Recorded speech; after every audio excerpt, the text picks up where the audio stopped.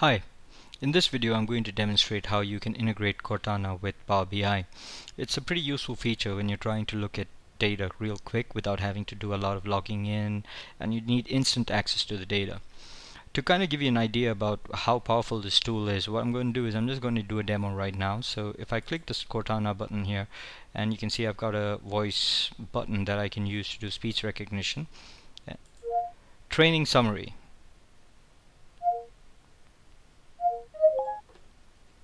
And this is I a report training summary. and this is a report that I deployed already in Power BI and you can see that it's actually fetching the data from Power BI and it has a lot of the functionality that you expect from Power BI in terms of interacting with the report etc now in order to do this I've already downloaded some dummy data and uh, what I'm going to do is I'm going to go ahead and create a report out of it and deploy it into Power BI the first thing I'm doing is I'm going to say get data choose Excel and scroll down to the data that I need to load. It's in an Excel sheet so it's gonna go ahead and load that data and uh, once that's done I'll create a, a, basic report something really simple to kind of demonstrate the concept.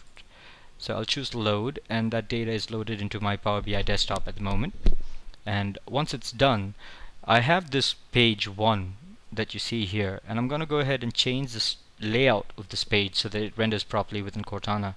The first thing I want to do for that is come over here to this format button click on it, change the page size to Cortana.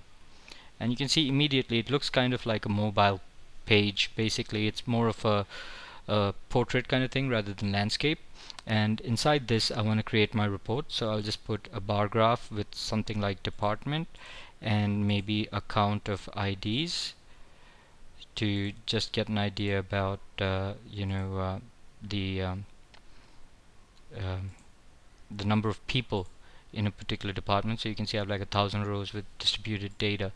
And the next thing I want to do is I want to go ahead and say something like department wise data. And that is the name of this report. And next thing I want to do is I want to publish this into my Power BI uh, cloud service. So I'm just going to call this sample data. And uh, once this Power BI report that I've just created gets published into the cloud the next thing I want to do is go into the cloud and enable a couple of different features. The first thing I want to do in this case is I want to log into Power BI so I'm going to go to powerbi.com or basically powerbi.microsoft.com and uh, sign in. And after signing in I need to actually tell Power BI that Cortana has access to this data set so in order to do that what I'm going to do is on the left hand side I have the navigation bar. So I'm going to choose this and uh, I'm going to go ahead and look for the uh, the data set that I just deployed. It's called sample data and you can see that data set is here. The next thing I'm going to do is click settings and under settings I have data set and against that data set I have Q&A and Cortana and uh, I'll just go ahead and choose sample data here and say allow Cortana to access this data set and press apply the next thing I want to do is add a featured question. So I'm going to add a question here which will basically be uh, department wise data the name that I've given here for this report. So let me just go ahead and do that real quick. I'll just say department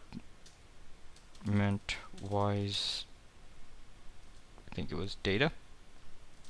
And I'll press apply once this is done, Power BI knows that it's supposed to allow Cortana to access the dataset, but we also need to tell Cortana that it's supposed to be doing this, and that's where the next part of the configuration comes. Uh, what we need to do here is basically just click the start button here and in your Windows 10 you'll see that there's the settings button and when you click on it you have something called accounts. When you click accounts you have two options. One is to log in using your regular Microsoft account if you're using it for personal reasons. And you also have access work or school account in which case you also have the uh, the work or school account. And you need to connect this by just clicking connect and log in using the account name that you used to deploy your report into Power BI as an additional layer of security you might be asked to enter some kind of SMS code that uh, kind of authenticates you multi-factor authentication basically. But once that's done you're all set. And uh, if I click here right now in Cortana and then say department wise data. Not voice data. That's wrong. So let me just go ahead and do that again because again Cortana is not really very great when it comes to speech recognition which is uh, something that I've always found Google to be uh, very reliable on. But let's try this again. Department wise data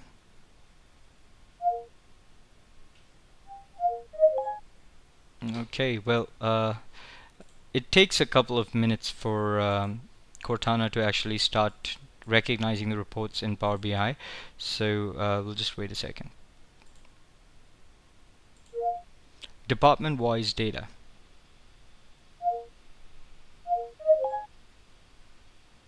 I found department-wise data. and as you can see here we've got the report that we just created and published into Power BI and it's really that simple because uh, once you go ahead and do this essentially what's going to happen is that your customers or yourself could instantly have access to the data that's in uh, Power BI if you want to take it one step further you can also go ahead and load this into a database and have data refresh going on in the background so that you always get real-time uh, statistics and information at your fingertips and that's all there is really to it. There's no coding involved. It's just a matter of enabling two features. The first one being enabling Cortana access to your Power BI account and the second one to actually um, uh, have Cortana use the account by configuring it within Windows. And there you have it. I hope you found this video useful and uh, thank you for watching